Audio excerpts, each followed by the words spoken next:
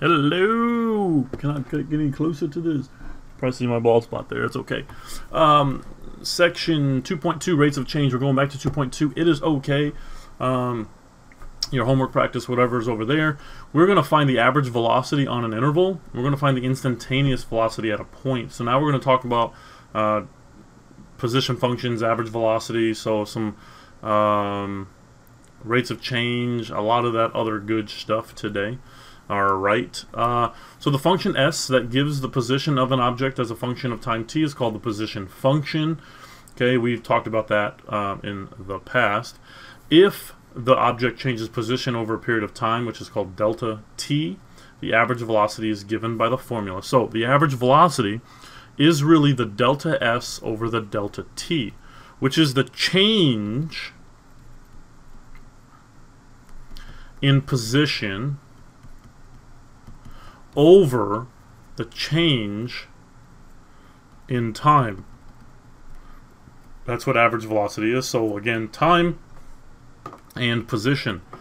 Okay, pretty self-explanatory, I think. I mean, we'll go on from there, but I don't think you need to know much else from there. Um, so, for instance, if I have a tennis ball that's dropped from a height of 100 feet, we have this equation. So this is the position function, negative 16t squared plus 100. Um, you've done these in Algebra 2, and you've done these in Calc A, B as well. Where s is measured in feet, and t is measured in seconds. So find the average velocity over the time interval. So what I want to do is I want to find the average velocity.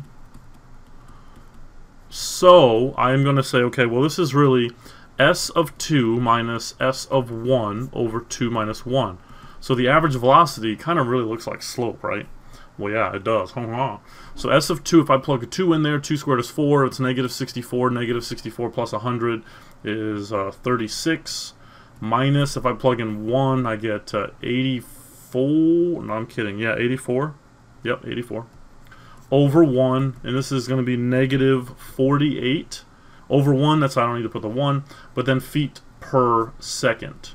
So negative 48 feet per second. That means the ball, or yeah, the tennis ball in this case, at um, over the interval from 1 to 2 is dropping negative 48 feet per second. So it's on the down um, side of, of it's coming down, right? The ball's coming down. Um, for some reason, for some reason, I don't have um, another one in here, but I want to put this in here, number two. Um, it's from 1 to 1.5. All right, um, this is you have to probably have to type that into your notes or, or, or write it in. I, it's not written there for some reason. Um, but if I plug in, so this is really s of 1.5 minus s of 1 over 1.5 minus 1.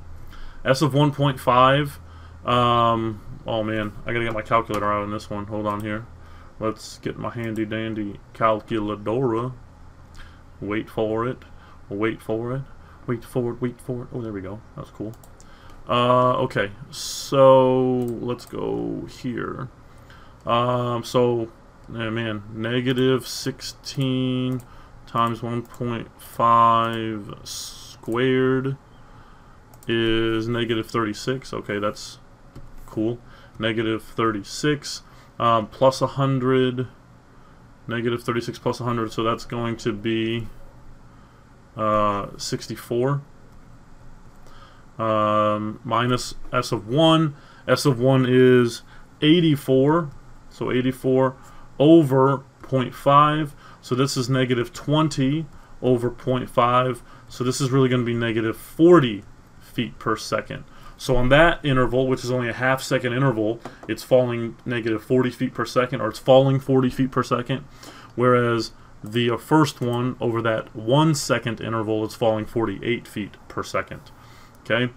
Um, so a particle is moving along the x-axis with the following positions in time during the table value. Approximate the average velocity of the particle when t is equal to 5. So because we're approximating at t is equal to 5, t is equal to 5 is falling in right in there. Um, but. Alright, well, whatever. This is just another problem that you don't have in your notes. So, our No, that you do have in your notes, that I didn't have in my notes. So, okay, uh, that's fine. So because t is equal to 5 right there, all right, um, I need to approximate the value. So I have to use what's around it. So because I know 4 and I know 6, I have to then use and find the slope between those two points. So I'm going to say 20 minus 13 over 6 minus 4 is 7 over 2, and so that's 3.5 uh, feet per second. So that is the average velocity when t is equal to 5.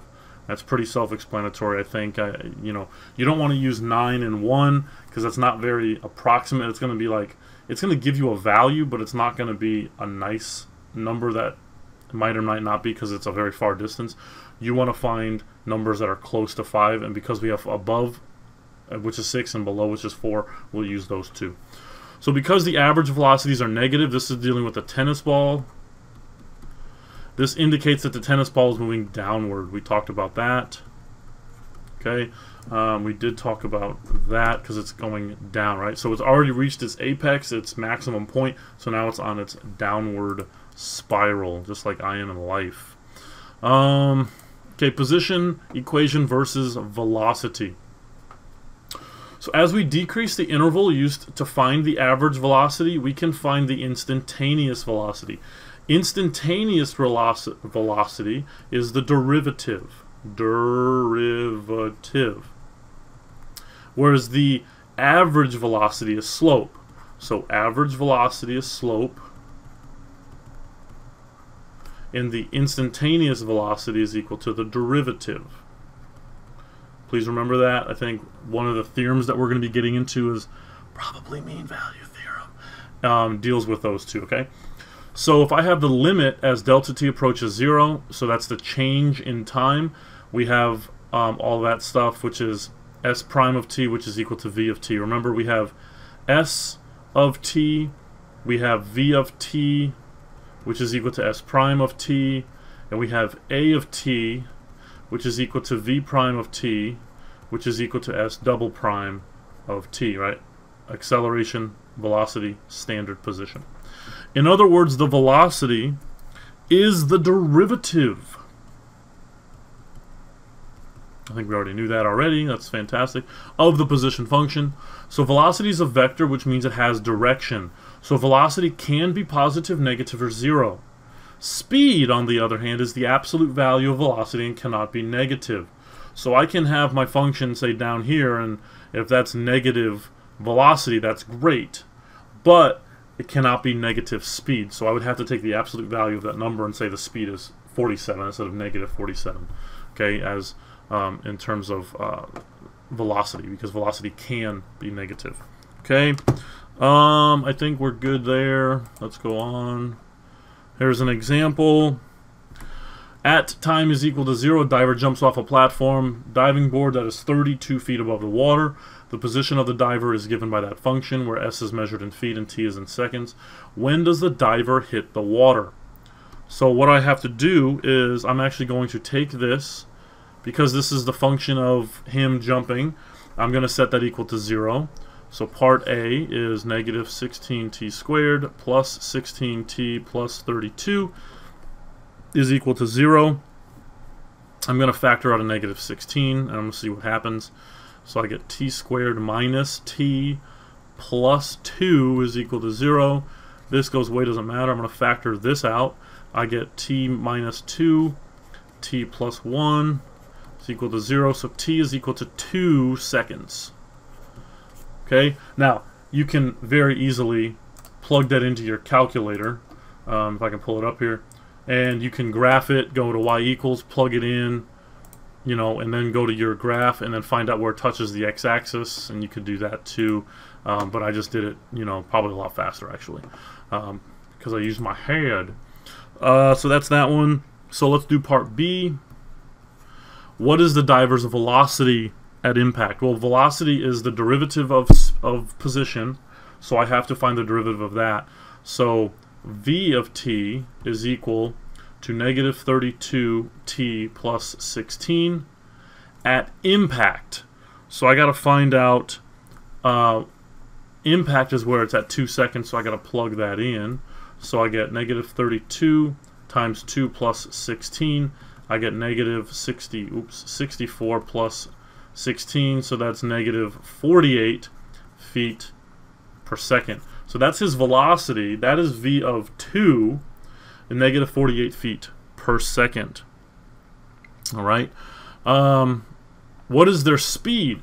Well, the speed, that's pretty simple, is just 48 feet per second because it's the absolute value of velocity. So velocity is positive, the speed's positive, velocity is negative, and speed is still positive. Okay, great. Uh, let's do part C, I don't know, somewhere up here so we don't have to scroll down. When does the diver stop moving upward and start their descent? So that is when the velocity, okay, um, so if our, let's look at the graph here. This graph is going to look like, boop, and uh, at, uh, let's see, start moving upward and start the descent, that's going to be right there when it hits the maximum point. So maximum point occurs when the v of t is equal to 0. Okay, we haven't quite talked about that yet, but you should know that from last year. Okay, velocity is equal to 0, so I'm going to take negative 32t plus 16 is equal to 0 and I end up solving that as I get t is equal to 1 half seconds. So at a half second is when that person jumped, reached their apex, and then started coming back down. That's the highest point that they jumped. If you wanted to find out that point, you could just plug it in and find that out. It's not asking you to do that, but I'm just saying you could if you wanted to. Okay, um, I'm thinking that we're done. I don't think there's any more. It's fantastic.